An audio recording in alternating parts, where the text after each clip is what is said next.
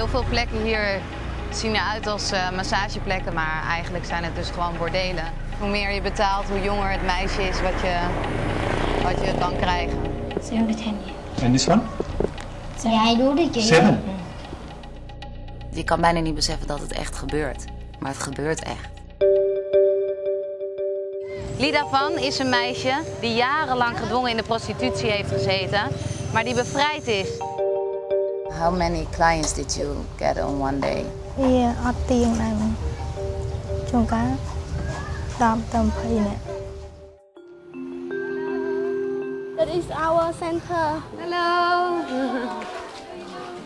Good, how are you? Zij helpt mij nu om een tasje te maken, dus ik moet even bij de les blijven. Je vergeet gewoon even wat er met zo'n meisje is gebeurd. Omdat ze met je gaat touwtjes springen en spelen een tikketje.